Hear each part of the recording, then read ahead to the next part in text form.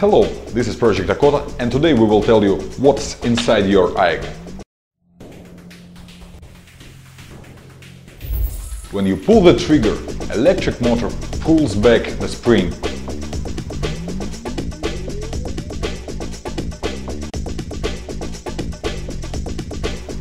Then the spring is released and it pushes forward the piston.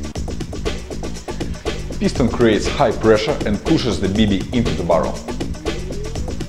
The speed of BB depends on the spring you have in your AEG.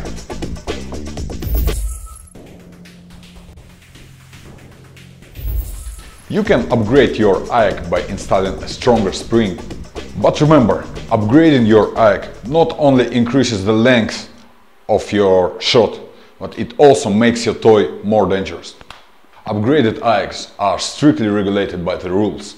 If you play on a short distance or enter the building, you must switch to a secondary weapon. This is Project Dakota. Peace!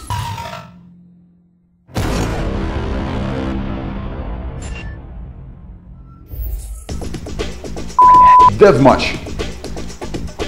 Uh, quite